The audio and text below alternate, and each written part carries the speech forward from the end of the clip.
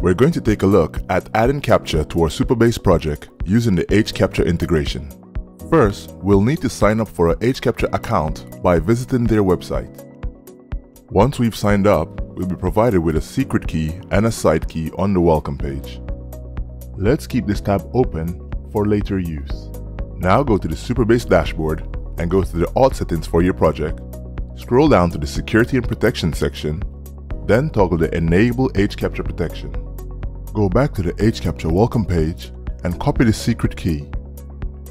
Return to the Supabase dashboard and enter the secret key into the HCAPTCHA secret input field. We've now completed all the changes we needed for the Supabase dashboard.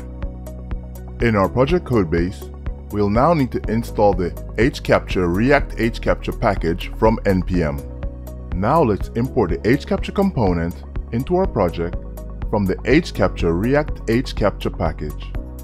We'll need to store the captcha token in our state, so let's write some code to set this state up. Now add the HCAPTCHA component to the template part of our code. Then let's add a site key along with an unverified property. Let's capture the token when the verification has completed by using the setCAPTCHA function returned from the state we created earlier. Now let's use the captcha token we received in our Supabase signup function. We will also need to reset the captcha challenge after we have made a call to the signup function. Create the ref, then add it as a property to our HCAPTCHA component in our template. We will reset the captcha after the signup function is called.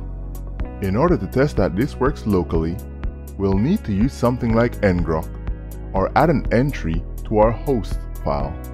Run the application and you should now be provided with a CAPTCHA challenge. Head over to supabase.com if you want to learn more about Supabase and HCAPTCHA.